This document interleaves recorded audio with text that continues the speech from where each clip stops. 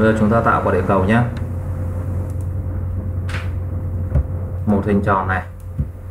Tốt nhất là chúng ta lấy à, một cái màu à, xanh xanh đây, cho nó giống cái kiểu trái đất. Sau đó thì à, tôi sẽ cắt nó ra, lấy một nửa thôi.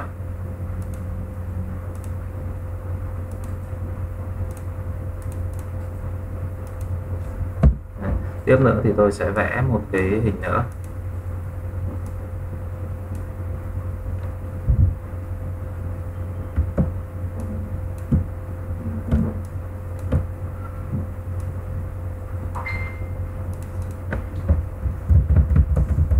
Đến đây thì chúng ta sẽ um, group cả hai thải này lại và tôi sẽ vào 3D Revolve. Thì các bạn sẽ thấy rằng là nó sẽ tạo ra một cái uh, hình giống như là cái uh, một cái hành tinh một cái quả địa cầu như thế này. Thế còn nếu mà các bạn muốn mà làm thêm một cái gì đó thì các bạn có thể là chọn thế đấy lấy một cái hình uh, bản đồ. Đó. Lấy một cái hình bản đồ, sau đó thì các bạn chọn cái bản đồ đó. Các bạn tạo ra một cái symbol từ cái hình bản đồ trái đất. Sau đó các bạn sẽ cho map art nó nhúng vào đây. Đây, ví dụ, trước hết là chúng ta có cái này đã này. Bây giờ mở lấy thử một cái bản đồ nhé. Bây giờ chúng ta tìm một cái bản đồ.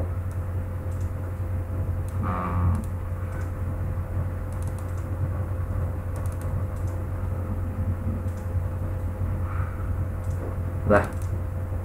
Để mắt tôi sẽ lấy cái bản đồ đó. Bây giờ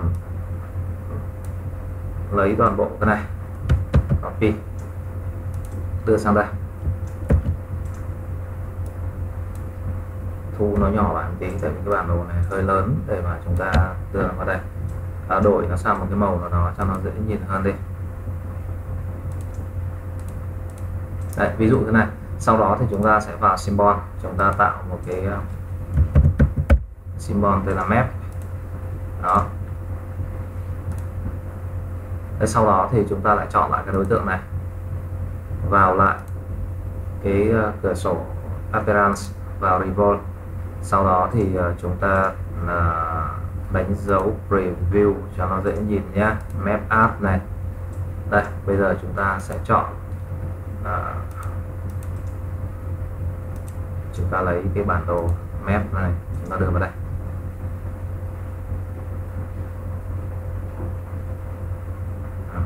À, bằng cách như thế này thì chúng ta sẽ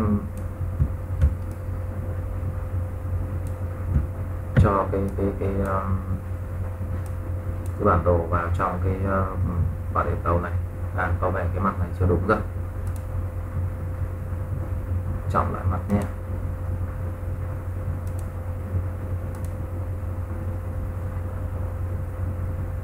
Đấy thì chúng ta có thể gán cái gán cái cái um,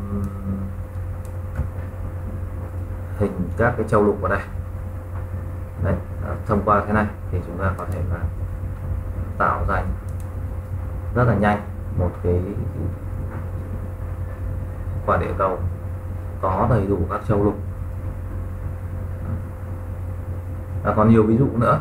À, có thể là tôi sẽ đưa tiếp cái tài liệu lên cho các bạn sau đấy còn là hôm nay là chúng ta nắm được cái cách thức để tạo ra các cái um, các cái cái, cái khối 3D giả lập.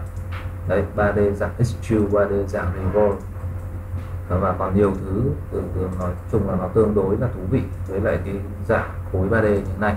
Thì tôi sẽ lần lượt tôi sẽ đưa cái uh, hướng dẫn rồi thì các cái uh, video minh họa cho các bạn ở trên trên uh, cái face chung của nhóm nhé hôm nay thì chúng ta sẽ tạm thời dừng ở đây nhé.